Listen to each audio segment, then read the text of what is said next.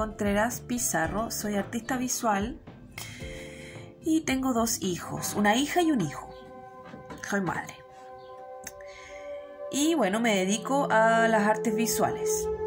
Pinto en acuarela, pinto en acrílico eh, y también hago pintura corporal con maquillaje artístico en, en mujeres gestantes y no gestantes. Y bueno, aquí hay algunas preguntitas eh, dice una, ¿cómo definirías el arte? El arte, bueno, para mí el arte son muchas cosas.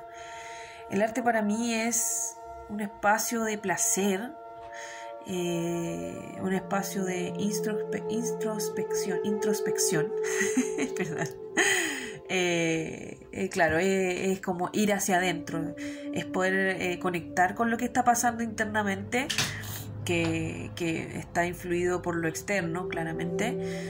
Em, y, es un espacio donde tú puedes expresar eso. Uno puede expresar lo que está pasando internamente o lo que, o lo que te motiva, lo que te, lo que te inspira. Em, es lo que tiene uno dentro que puede mostrarle al mundo. Eh, para mí el arte no tiene tiempo, para mí el arte no tiene tiempo porque es, constante, el, arte está siempre sucediendo. Em, el arte está en todo. Para mí el arte es relajación, es como, es como una terapia para mí. Es un momento muy em, de concentración donde yo vuelco todo mi ser en lo que estoy realizando en ese momento. Para mí eso es el arte. Eh, cuáles son tus actividades artísticas y qué materiales usas. Bueno, yo eh, últimamente he estado pintando mucho con acuarela, me he hecho muy amiga de la acuarela, me encanta. Eh, entonces trabajo con pinceles, pinceles que son para acuarela y también hay unos que son de diferentes usos, para acrílico, y óleo.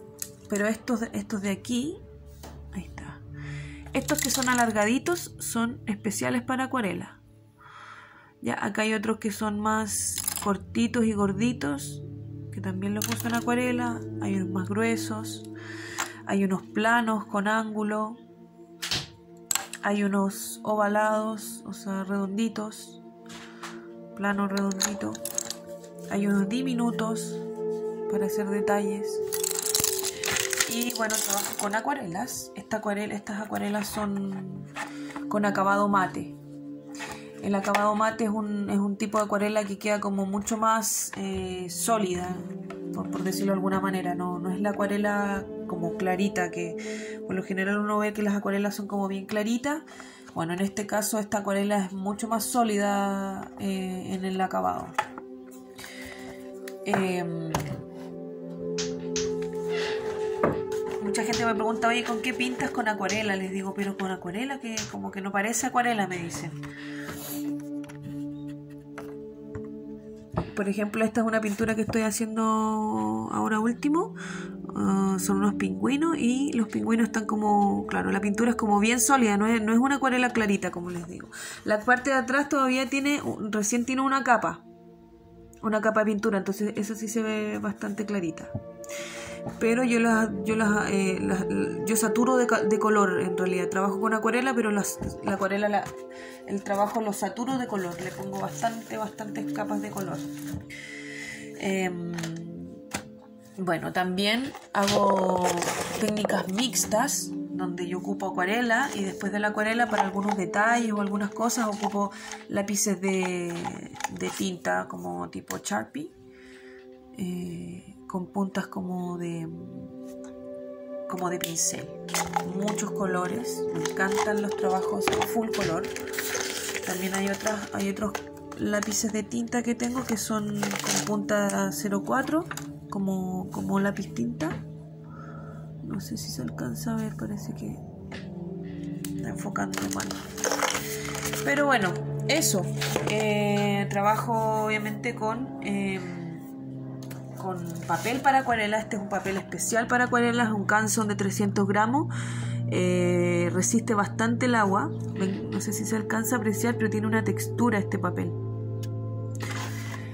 Y antes de, eh, antes de pasarlo, los bocetos, porque hago bocetos también, antes de pasarlo al papel definitivo con que voy a pintar, yo primero hago bocetos en cualquier papel, oficio o en croqueras también, lo que tenga, hago primero el boceto. Pues el boceto tiene la, tienes la posibilidad de poder borrarlo, corregirlo y después de eso ocupo una mesa de luz. Las mesas de luz te permiten poder traspasar, o sea, poder ver en realidad eh, el dibujo, porque uno pone el dibujo y sobre el, sobre el boceto tú pones el, otro papel que es el definitivo donde va a hacer la obra. O sea, yo trabajo así al menos. Entonces prendo la, mesa de luz que las voy a mostrar. Por aquí tengo mi mesa de luz que está arrimada porque está sin uso ahora. Pero ahí se enciende y se puede copiar. En realidad sirve para copiar el boceto al papel definitivo, al papel donde voy a hacer el, trabajo.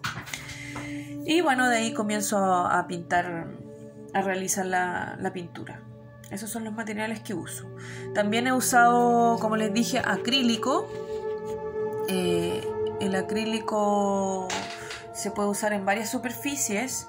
Yo lo he usado en, he pintado piedras con acrílico, he pintado eh, puertas con, esmalte al agua, mezclado también algunas cosas con acrílico. Esa puerta de ahí, por ejemplo, de mi pieza, está pintada con eh, esmalte al agua, acrílicos y también hay esmalte sintético y óleo.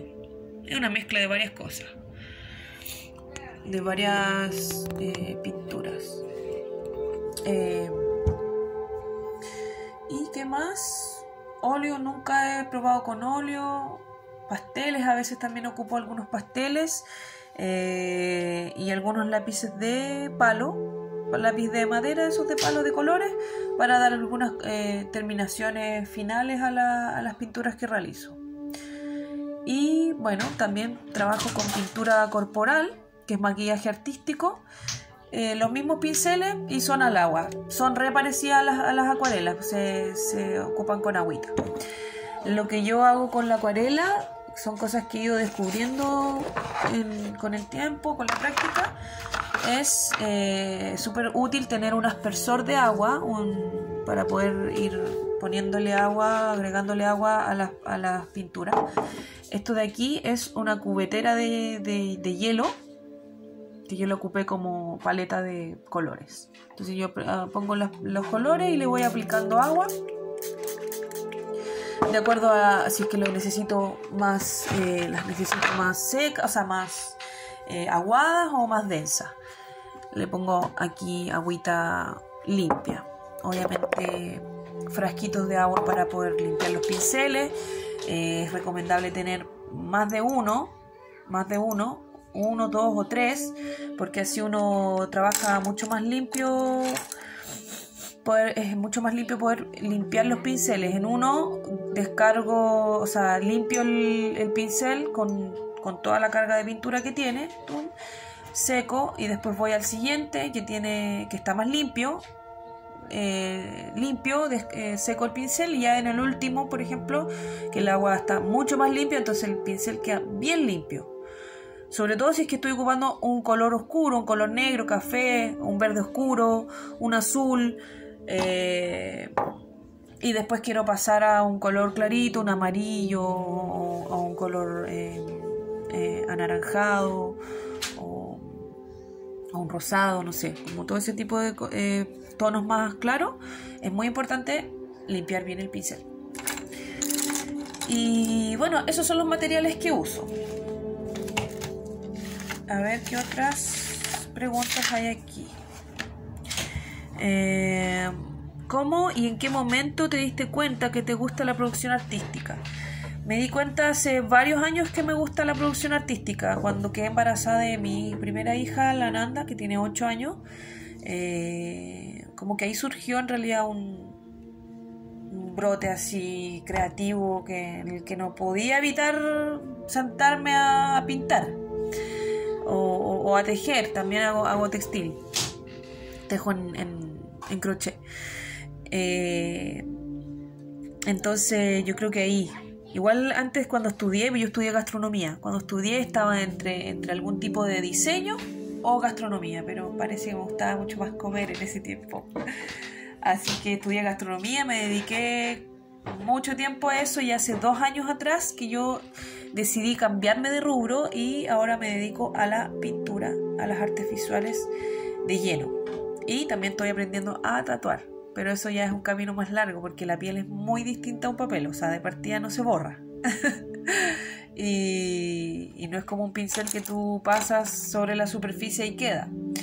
El tatuaje es bastante más complejo técnicamente, pero que es algo que se practica como todo. Eh, así que eso, me, hace dos años me dedico de lleno a la, producción artística. Eh, acá hay otra pregunta, dice, ¿el colegio influyó en el gusto a realizar arte o en tu decisión de dedicarte, dedicar tiempo al arte? Eh, más o menos. Mi colegio, eh, yo estaba en un colegio científico humanista y mm, la verdad es que no, no, no, no, no, se, no, se, desarrollaba mucho el área artística. O sea, lo básico que era la clase de arte, que era una de mis favoritas, con la de tecnología, con la de eh, clase de educación física, biología también me gustaba. Pero bueno, tenía una profe re buena, me gustaba harto mi profe, la Gina Alvarado. Muy bacán la profe, yo con ella aprendí harto y, me gustaba harto, me gustaban bastante sus clases. Y el último año, el 2006, yo estaba en cuarto, estaba, por salir del colegio, eh, se realizó una feria del arte. Todos los años siempre se, hizo la feria científica y, ese año decidieron hacer una feria del arte. Entonces habían varios como categorías y yo me,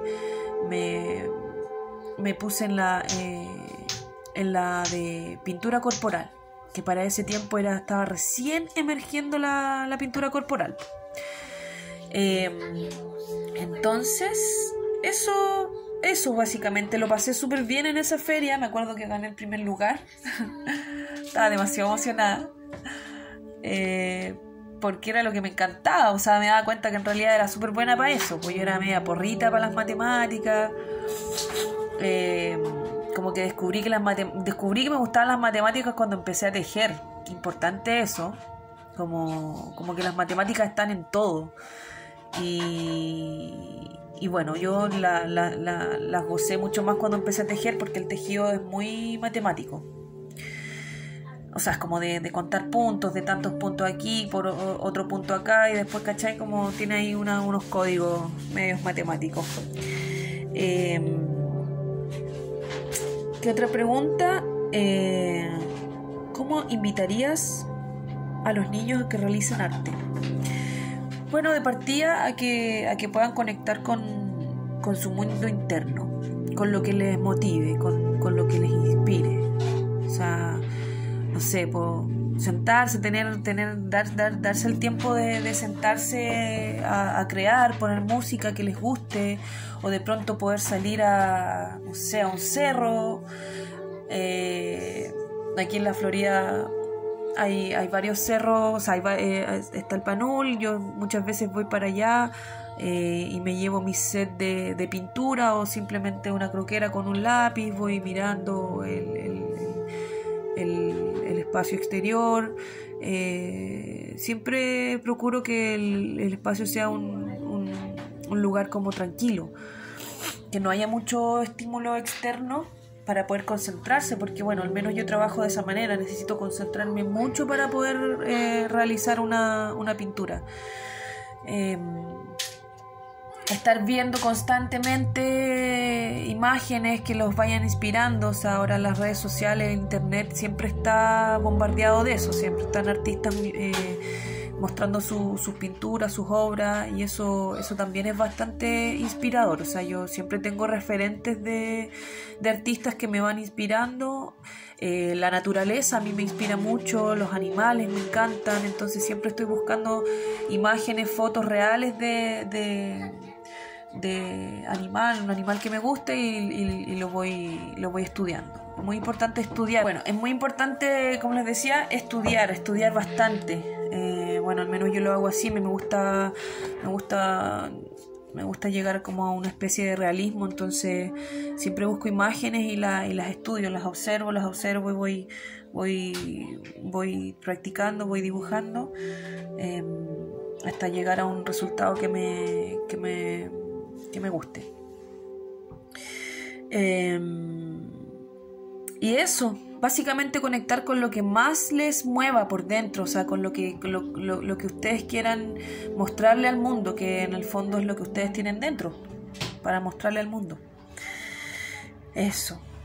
Eh, y la experiencia de creación artística en la pandemia ha sido súper, súper buena, he producido bastante.